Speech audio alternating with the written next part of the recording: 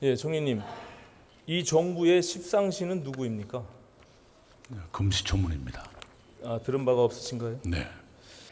대통령의 의회에 대한 태도에 근본적인 저는 문제가 있다고 봅니다. 지난 8월 10일 날 청와대에서 있었던 오부 요인 간담회 자리에 아마 총리께서도 함께 하셨을 텐데 그때 대통령께서는 국회를 비롯한 헌법기관에 대해서 아직 국민 눈높이에 부족한 점이 많다라고 마치 임금이 타이르듯이 이렇게 얘기를 했습니다. 또한 지난 10일 날 이 임종석 비서실장이 이미 일부 대상자들이 방북 안 하겠다고 얘기를 했는데 꽃할배 운운하면서 방북 요청을 했어요. 이 참으로 오만 방자한 행동이라고 많은 사람들이 느끼고 있습니다.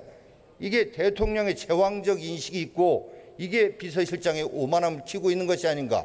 또 반대로 시중에는 대통령은 오히려 허수아비고 임종석 실장이 실권자다 이런 얘기도 있는데 대통령과 임 실장의 어떤 역할에 대해서 총리께서는 가까이서 보시면서 어떤 생각을 하고 계십니까?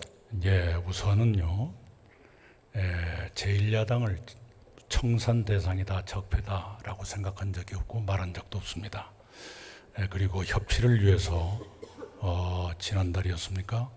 여야정 상설협의체를 제안했고 그 합의를 이루었습니다.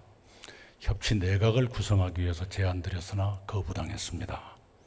그리고 북한 에, 에, 평양에서 열리는 3차 남북 정상회담 동행은 8월 16일 5당 원내대표 회동 때 대통령께서 정중히 제안드렸던 내용입니다. 아무런 것도 없이 덜렁 임종석 실장이 했다 그렇게 보지 않습니다. 대통령과 임종석 실장의 관계는 대통령과 비서실장의 관계입니다.